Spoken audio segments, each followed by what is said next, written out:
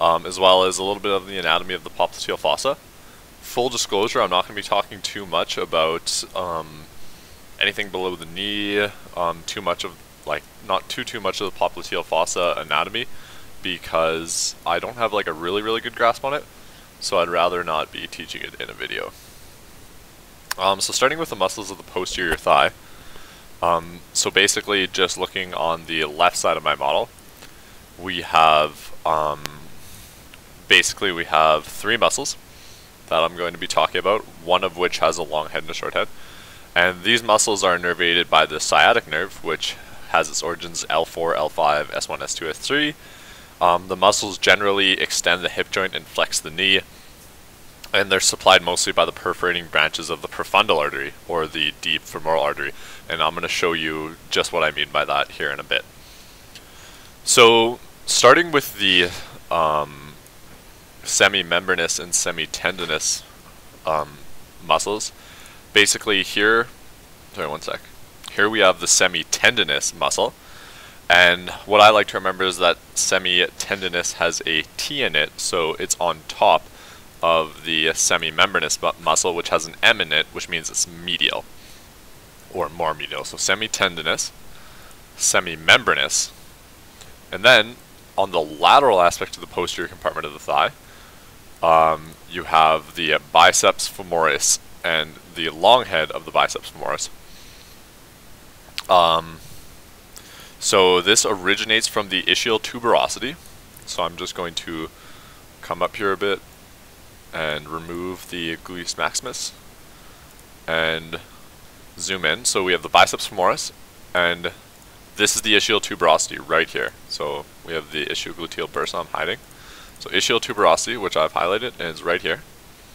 And as you can see, we have the sacrospinous or sacrotuberous ligament coming off the ischial tuberosity, and then the origin of the semitendinous, semimembranous, and biceps femoris the long head of it, all are from the ischial tuberosity. And then the um, the biceps femoris long head and short head both converge into a common tendon right here. So here we have the biceps femoris short head, which I'm going to remove the biceps femoris long head here in a second so I can better show you. Show you I'm going to remove this as well. Okay, hiding that. Okay, so the biceps femoris long head originates from the ischial tuberosity up here, right here. And then we zoom in, biceps femoris long head originates from the femur, but they both join up to form a common tendon. That's not really well shown, shown here, um, but that is the case. And one thing that is important is that every single muscle I've spoken of, the biceps femoris, semimembranous, semitendinous, they all um, extend, or sorry, they all flex the knee, but only three of them extend the hip. The one that doesn't is the bicep femoris short head, and basically that's because it inserts onto the femur and not the ischial tuberosity like the other three. Okay. So now I'm just going to talk a little bit about the innervation and blood supply of these as well as the popliteal fossa. So what I want to start you off with is the just talking a bit about the adductor magnus because it's pretty important to the anatomy. Um, both the innervation and the venous and arterial supply of the hamstrings, which we, we were just talking about. So, just kind of a review of the adductor magnus. I'm just going to remove some of these so I can better visualize it. So, it's one of the adductor, uh, it's the largest of the adductor muscles, and if you remember, it has two components. Basically, here's the adductor magnus, and it has two components separated by the adductor hiatus. So it has a hamstring component, which is right here, and if you zoom in a bit, you can see that it's that these muscle fibers um, run anterior to superiorly throughout right up until it attaches to the pubic um, the pubic sect or the pubis of the um, the hip bones, my apologies. So this is the hamstring portion, and it's medial, and then you can see that there's these muscles that run kind of right to left here, or medial to lateral, and those are the adductor portions, so the portions that draw the thigh inwards. Um, and then right here is the adductor hiatus where our femoral vein and femoral artery are going to dive from anterior to posterior and once passing through the hiatus they'll become the popliteal vein and artery and I'll show that better just on the left side here in a second. Um, okay, and so just to clarify, the hamstring portion is aids in knee flexion, like most of the other, or like all the other hamstrings. And it's innervated by the tibial branch of the sciatic nerve. So if you remember, the adductor magnus is part of the medial compartment of the thigh, which is innervated by the obturator nerve. Now, everything in that part of the thigh is innervated by the obturator nerve, but this hamstring portion right here. So here's the adductor hiatus right here. This is the hamstring portion. And that is innervated by the tibial branch of the sciatic nerve, not the obturator nerve, which comes through, I don't have here, but comes through right here. Uh, sorry, that was a bit quick. Right here, to come out and innervate the medial compartments. So, I just want to show you a couple things before turning this thing back posteriorly. Um, basically, I'm just going to remove the vastus muscles so that we can kind of get a better view here, as well as this guy. Okay, so this looks a bit messy, but it's really not that bad. Just looking on the left side here, starting, I'm just going to start anteriorly so I can kind of walk you guys down here a bit, and I covered this a bit on my last video.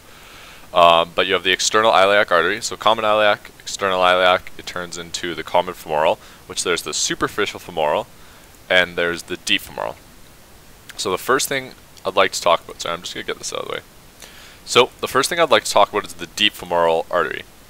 So basically the deep femoral artery is what supplies the posterior hamstring muscles. So we got these muscles back here that I was talking about, semimembranous, semitendinous, um, so on and so forth and the biceps, um, femoris long and short head.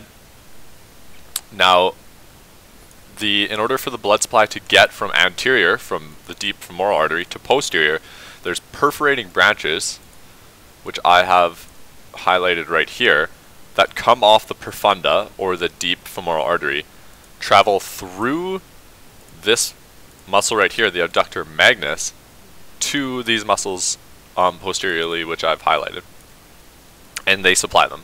So if you're asked about the supply of those muscles, it's perforating arteries of the profunda, or the deep femoral artery.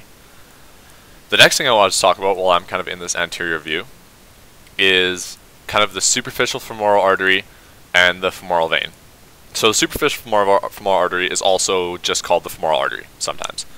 Um, and basically, I want to talk about how those travel to the popliteal fossa to become the popliteal artery and vein. So basically, like I was saying, you have two components of the adductor magnus. You have the hamstring component, just back on the right hand side here, right here. And then you have the adductor component right here. And then this is the adductor hiatus right here with its lateral boundary being the femur and medial boundary um, being the adductor magnus and superior boundary being the other portion of the adductor magnus. Now just looking back on the left hand side here, here it is again. And as you can see, the femoral artery and femoral vein go through that hiatus, and then if I turn it around, to, I'm just going to turn it around and just remove some of these muscles here, biceps femoris long head, and semitendinous, and semimembranous. So as you can see, they come through and end up in the popliteal fossa, which is right here. And this is what it looked like if I, if I had the muscles there. So you can actually see um, the popliteal vein, and that's the same as what we're looking at right here. So they travel through, become the popliteal vein and the popliteal artery once they've gone through this hiatus and ended, enter the popliteal fossa.